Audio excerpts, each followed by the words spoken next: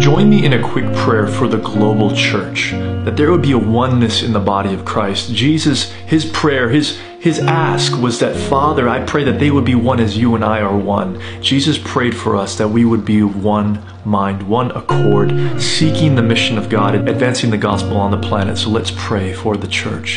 Heavenly Father, I am praying right now, Jesus, that you would bring a oneness in the body of Christ.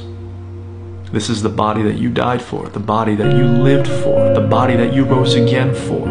I pray for this body, this church, this oneness, that you would bring us together, that we would advance your mission on this planet. I pray over every single person, every single believer, every single church, every single ministry, every single leader, that you would inspire them, fill them with your Holy Spirit.